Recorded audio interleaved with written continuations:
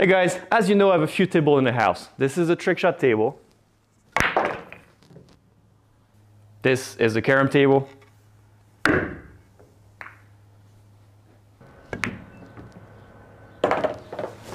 But did you know I also had an outdoor pool table? It's a really cool one, super resistant on top of that. Ah, don't you worry, just a quick wipe and the table is just like new.